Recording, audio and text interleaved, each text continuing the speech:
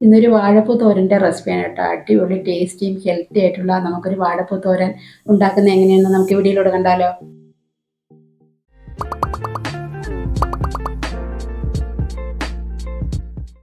തോരൻ ഉണ്ടാക്കുന്നതിന് വേണ്ടിയിട്ട് ഒരു കാൽ കപ്പ് തോരപ്പരിപ്പ് ചൂടുവെള്ളത്തിലൊന്ന് കുതിരട്ടെ. അതിട്ട് വെച്ചിട്ടുണ്ട്. ഇനി നമുക്ക് ആ സമയം കൊണ്ട് നമുക്ക് വാഴപ്പൂവിന്റെ ഈ മുകളിലത്തെ പോളയൊക്കെ ഒന്ന് അടത്തി മാറ്റിയ ശേഷം ആ പൂവൊക്കെ ഒന്ന് അരിഞ്ഞെടുക്കണം. ഈ പൂവൊന്നും കളയേണ്ട ആവശ്യമില്ല. ഇതെല്ലാം നമുക്ക് കറി വയ്ക്കാം നല്ല ടേസ്റ്റാണ് അപ്പോൾ ഈ പൂവിന്റെ എന്താണെന്ന് പറയുക ഇതിന്റെ ഉള്ളിലെ ഒരു നാരുണ്ട്. ഒരു നരമ്പ് പോലെ ഒരു നാര്. ഇത് നമുക്ക് കട്ട് ചെയ്യുമ്പോൾ കിട്ടില്ല. അപ്പോൾ ഈ നരമ്പൊക്കെ മാറ്റിയ ശേഷം നമുക്ക് ഇത് പൂവും കൂടെ അരിഞ്ഞെടുക്കാം. അപ്പോൾ നമുക്ക് ഈ വാഴപ്പോളയൊക്കെ ഇതൊന്ന് കളയട്ടെ.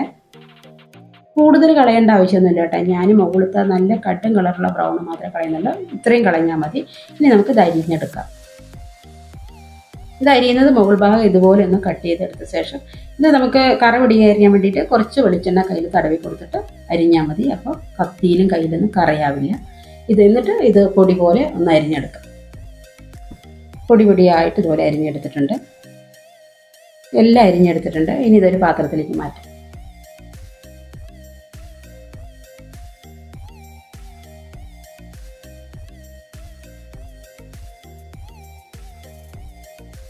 ഇനി പൂവും ഇതുപോലെ ഒന്ന് അരിഞ്ഞെടുക്കാം. ഈ പൂവ് അരിഞ്ഞെടുക്കുമ്പോൾ അതിന്റെ ഉള്ളിൽ ആ നാരുണ്ടല്ലോ അതൊന്ന് മാറ്റിയെടുക്കണം.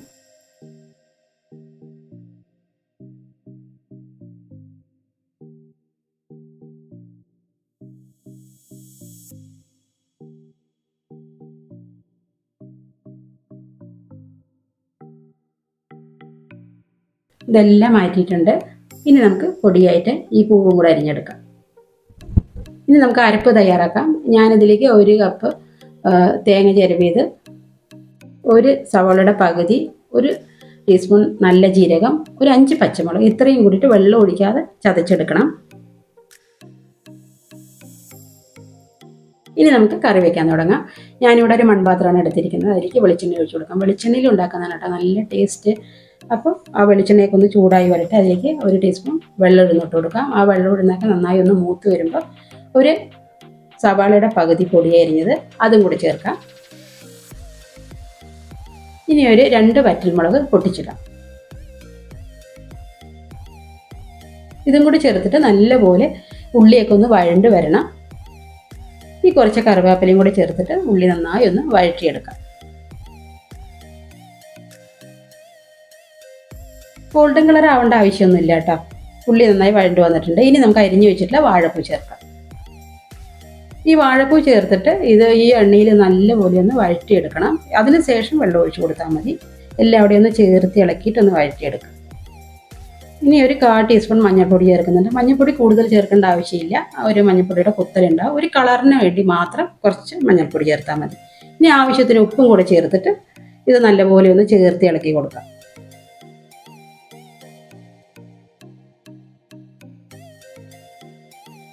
ഇനി നമ്മൾ കുതിരാൻ വെച്ചിട്ടുള്ള തോരപ്പരിപ്പ് ചേർക്കാം. ഞാനിവിടെ തോരപ്പരിപ്പാണ് ചേർക്കുന്നത്. നിങ്ങൾക്ക് ചെറുപയറോ വെള്ളപ്പയറോ ഏത് വേണമെങ്കിലും ചേർക്കാം. അഥവാ ഇതില്ലെങ്കിൽ തനിയെ തോരൻ ഈ വാഴപ്പ് മാത്രമായിട്ടും തോരൻ ഉണ്ടാക്കാം. നല്ല ടേസ്റ്റാണ് ഇനി ഇതിലേക്ക് ഒരു കാൽ കപ്പ് വെള്ളം ഒഴിച്ചു കൊടുക്കുന്നുണ്ട്. കൂടുതൽ വെള്ളം ഒഴിക്കേണ്ട ആവശ്യമൊന്നുമില്ല. ഇത് നമ്മൾ അടച്ചു വയ്ക്കുമ്പോൾ തന്നെ ഈ വെള്ളം ഊർന്നു വരും. അപ്പം ഞാൻ നിങ്ങൾ വെള്ളമൊക്കെ നോക്കിയിട്ട് ഒഴിച്ചാൽ മതി. ഞാനിവിടെ ഒരു കാൽ കപ്പ് ഒഴിച്ചു കൊടുക്കുന്നുണ്ട്. ഇതെല്ലാം കൂടെ ഒന്ന് ഇളക്കിയെടുത്ത ശേഷം ഒന്ന് അടച്ചു വെച്ചിട്ട് ഒന്ന് വേവിക്കാൻ തുടങ്ങാം.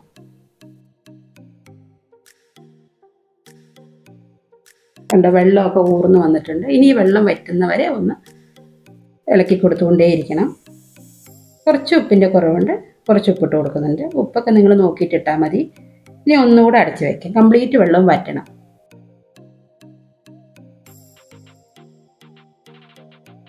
കംപ്ലീറ്റ് വെള്ളം വറ്റി വന്നിട്ടുണ്ട്. ഇനി ഇതിലേക്ക് നമ്മൾ അരപ്പ് ചേർക്കാം.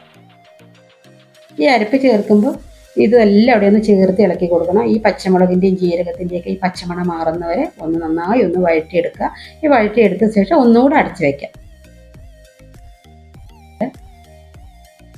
ഈ അരപ്പ് ഇത് നമ്മൾ മുളക് മുളക് പൊടിയൊന്നും ചേർക്കുന്നില്ല. എരിവിന് വേണ്ടിയിട്ട് പച്ചമുളകാണല്ലോ ചേർക്കുന്നത്. അപ്പോൾ ഈ അരപ്പൊക്കെ ഇതിൽ പിടിച്ച് വരണം. അതിനാണ് ഒന്ന് അടച്ചു വയ്ക്കുന്നത് നന്നായി വെന്ത് വന്നിട്ടുണ്ട്. ഇനി ഇതിലേക്ക് ഒരു ടീസ്പൂൺ പച്ച വെളിച്ചെണ്ണയാണ് ഞാൻ ഒഴിച്ചു കൊടുക്കുന്നത്. താളിക്കേണ്ട ആവശ്യമൊന്നുമില്ല കേട്ടോ. ഈ വെളിച്ചെണ്ണ ഒഴിക്കുമ്പോൾ തന്നെ നല്ല മണമൊക്കെ വരുന്നുണ്ട്. ഇത് ഈ വെളിച്ചെണ്ണ ഒഴിച്ച ശേഷം എല്ലാം അവിടെ ഒന്ന് ചേർത്ത് ഇളക്കിയെടുത്ത് കഴിഞ്ഞാൽ നമ്മുടെ അടിപൊളി ഹെൽത്തി ആയിട്ടുള്ള വാഴപ്പൂ തോരൻ ഇവിടെ റെഡി ആയിട്ടുണ്ട്. ഇത് എന്താ പറയുക ഷുഗർ കുറയാൻ കൊളസ്ട്രോൾ കുറയാൻ എല്ലാത്തിനും നല്ലതാണ്. ഇത് ആഴ്ചയിൽ ഒരിക്കലെങ്കിലും നമ്മൾ ആഹാരത്തിന്റെ കൂടെ ഈ വാഴപ്പൂ തോരൻ അല്ലെങ്കിൽ വാഴപ്പിണ്ടി ഇത് ഉൾപ്പെടുത്തണം. അത്രയും നല്ലതാണ്. ഹെൽത്തി ആയിട്ടുള്ള ഒരു ഫുഡ് കൂടിയാണിത്. അപ്പോൾ എന്റെ വീഡിയോ സ്കിപ്പ് ചെയ്യാതെ നിങ്ങൾ കാണണം. എല്ലാവരും ഉറപ്പായും വീഡിയോ ഇത് ഉണ്ടാക്കി നോക്കണം. അപ്പോൾ എന്റെ വീഡിയോ ആദ്യമായിട്ടാണ് കാണുന്നതെങ്കിൽ നിങ്ങൾ ലൈക്ക് ചെയ്യുക ഷെയർ ചെയ്യുക സബ്സ്ക്രൈബ് ചെയ്യുക. ആ തൊട്ടടുത്തിരിക്കുന്ന ബെൽ ബട്ടണും കൂടെ അമർത്തണേ. എന്നാൽ മാത്രമേ ഞാനിടുന്ന വീഡിയോസ് എല്ലാം നിങ്ങൾക്ക് നോട്ടിഫിക്കേഷൻ ലഭിക്കുകയുള്ളൂ. അപ്പോൾ അടുത്ത നല്ലൊരു വീഡിയോ ആയിട്ട് വരുന്നവരെ എല്ലാവരും സന്തോഷമായിരിക്കുക ആരോഗ്യത്തോടെ ഇരിക്കുക.